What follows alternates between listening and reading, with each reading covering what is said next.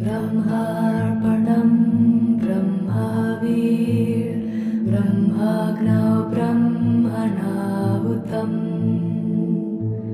ब्रह्मैव तेन गन्तव्यम् ब्रह्मकर्म समाधिना अन्नपूर्णे सदा पूर्णे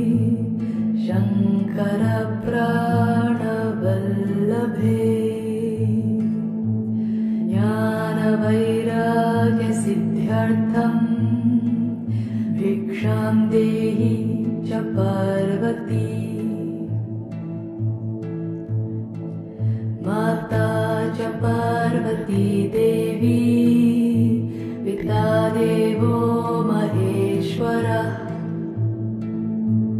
बान्धवा शिवभक्ताश्च स्वदेशो भुवनत्रयम्।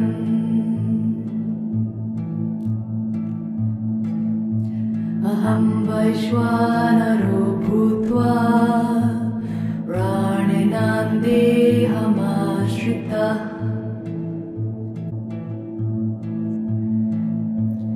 जीवने यावदादानं स्यात् प्रदानं ततोऽधिकम्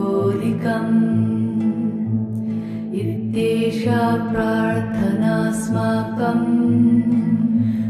भगवन् परिपू